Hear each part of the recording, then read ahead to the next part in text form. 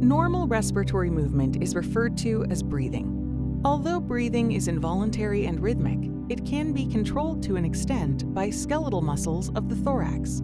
All vertebrates with lungs undergo the breathing cycle of inspiration and exhalation through a highly branched system of air passages.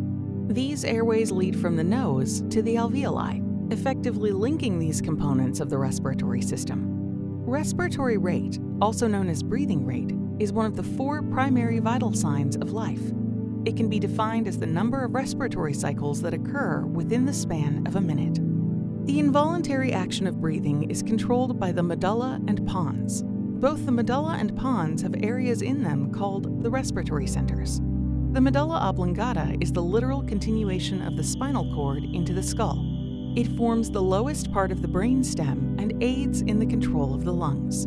The pons is also part of the brain stem. It lies directly superior to the medulla oblongata and is involved in controlling breathing processes as well as facilitating communication between different parts of the brain. These respiratory centers have groups of neurons that send impulses, causing inspiration and expiration. These impulses travel through cranial nerves to the diaphragm and intercostal muscles to control the actions of breathing.